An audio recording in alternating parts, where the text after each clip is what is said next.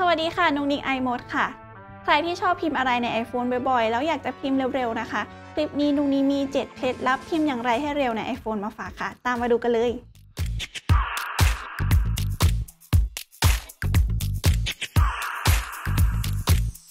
ข้อที่ 1 ค่ะ ให้เราเปิดใช้งานการคาดเดาคำฟีเจอร์นี้เนี่ยจะช่วยให้เราสามารถเลือกคำที่เรากำลังจะพิมพ์ได้อย่างรวดเร็วเลยค่ะ ส่วนการเปิดใช้งานการคาดเดาคำนะคะ ให้เราเข้าไปที่การตั้งค่าค่ะ แล้วแตะที่ทั่วไป จากนั้นแตะที่แป้นพิมพ์ค่ะ แล้วก็เปิดการคาดเดาคำค่ะ เมื่อเราเปิดใช้งานฟังก์ชันนี้นะคะ สมมติตรงนี้จะพิมพ์คำว่าสวัสดีค่ะ ตรงนี้พิมพ์แค่ซอวอขึ้นมานะคะ เขาจะขึ้นคำแนะนำมาให้แบบนี้เลยค่ะแต่ใครที่เปิดใช้ฟังก์ชันนี้นะคะ ก็อย่าลืมปิดการแก้คำผิดอัตโนมัตินะคะ เพราะบางทีเนี่ยมันจะแก้คำให้เราแล้วมันไม่ใช่คำที่เราต้องการค่ะทำให้พิมพ์ช้ากว่าเดิมไปอีก ข้อที่ 2 ค่ะ คือการลากเพื่อพิมพ์ค่ะ ซึ่งการลากเพื่อพิมพ์หรือ swipe keyboard เนี่ยเป็นฟีเจอร์ที่เพิ่มเข้ามาใน iOS 13 กับ iPadOS 13 ค่ะ วิธีการใช้งานก็คือ เราจะลากนิ้วบนคีย์บอร์ดโดยไม่ต้องยกนิ้วขึ้นมาสะดวกต่อการพิมพ์ค่ะ แต่ว่าฟีเจอร์นี้เนี่ยยังไม่รองรับภาษาไทยนะคะ ข้อที่ 3 ค่ะ คือการแทนที่ข้อความนั่นเองค่ะ เอาไว้ใช้ตั้งคำย่อ เพื่อเอาไว้พิมพ์แทนที่ข้อความยาวๆค่ะ ซึ่งตรงนี้คิดว่าฟีเจอร์นี้มีประโยชน์มากๆเลยค่ะ ส่วนการเปิดตั้งค่าการแทนที่ข้อความนะคะทำได้ดังนี้เลยค่ะ เข้าไปที่การตั้งค่าค่ะ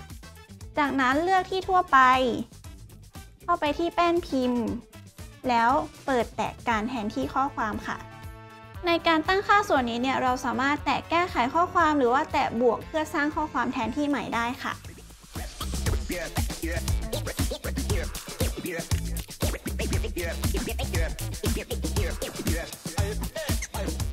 ข้อที่ 4 ค่ะ คือการเขย่าเพื่อเลิกคำค่ะ บางทีเราอาจจะพิมพ์ข้อความผิดทั้งก้อนเลย แล้วเราอยากจะยกเลิกการพิมพ์มันนั้นนะคะ เราก็แค่เขย่า iPhone แค่นี้ก็จะยกเลิกการทำได้อย่างรวดเร็วแล้วค่ะ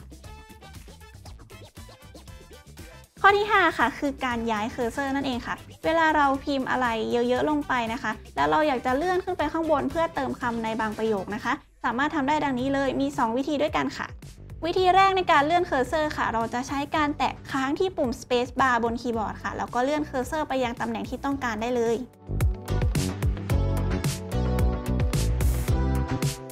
ส่วนวิธีที่ 2 นะคะ จะใช้การแตะที่เคอร์เซอร์ที่ตำแหน่งปัจจุบัน แล้วก็ลากเคอร์เซอร์ไปยังตำแหน่งที่ต้องการค่ะ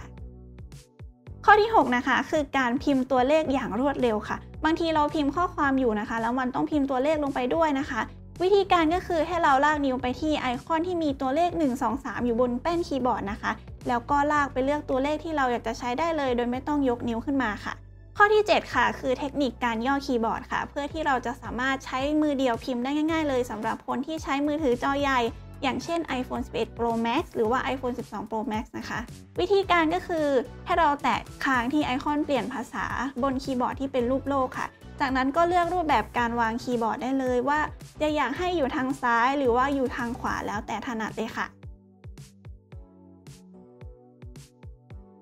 และทั้งหมดนี้นะคะก็เป็น 7 เคล็ดลับที่จะทำให้เราพิมพ์เร็วขึ้นค่ะ บางอันเนี่ยสามารถใช้งานใน iPad ได้ด้วยนะคะ ถ้าชอบคลิปนี้นะคะนุงนิกก็ฝากกดไลค์ กดแชร์ แล้วก็กด Subscribe ช่อง iMode Official ไว้ด้วยนะคะสำหรับคลิปนี้นุงนิกก็ขอลาไปก่อนเหมือนเดิมนะคะ สวัสดีค่ะ